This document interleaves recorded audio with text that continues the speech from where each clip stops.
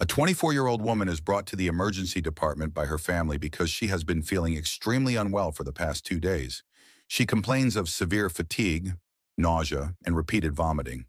She has also noticed that she has been urinating much more frequently and is constantly thirsty, drinking large amounts of water but still feeling dehydrated.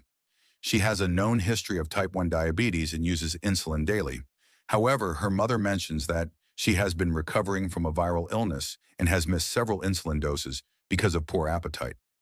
Over the last 24 hours, she has become progressively weaker, confused, and unable to keep food or fluids down. On arrival, her vital signs are concerning. Her heart rate is 128 beats per minute, respiratory rate is 28, and her breathing is deep and rapid. This pattern is consistent with Kussmaul respirations, a compensatory response to metabolic acidosis. Her blood pressure is mildly low, and her skin is dry with poor turgor, indicating significant dehydration. A fruity, sweet odor can be detected on her breath, a classic sign of ketone buildup. Bedside glucose testing shows a blood sugar level of 480 milligrams per deciliter. Laboratory work reveals a high anion gap metabolic acidosis, positive serum ketones, and elevated beta-hydroxybutyrate. Her potassium level is initially normal, but this does not rule out total body potassium depletion, which is common in DKA.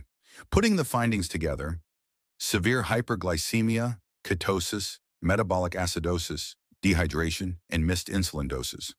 The diagnosis is diabetic ketoacidosis, a life-threatening emergency. DKA occurs when the body lacks insulin and begins breaking down fat rapidly for energy. This process produces ketones, which accumulate in the blood, causing acidosis. The combination of dehydration, electrolyte imbalance, and acidosis can lead to shock, arrhythmias, cerebral edema, and death if not treated urgently. Management includes intravenous fluids, insulin infusion, and careful electrolyte correction, especially potassium. Continuous monitoring in a controlled setting is essential until the acidosis resolves and the patient is metabolically stable. Key takeaway, in patients with type 1 diabetes, viral illness, vomiting, missed insulin doses, and deep, rapid breathing are major red flags for DKA. Early recognition and aggressive treatment save lives.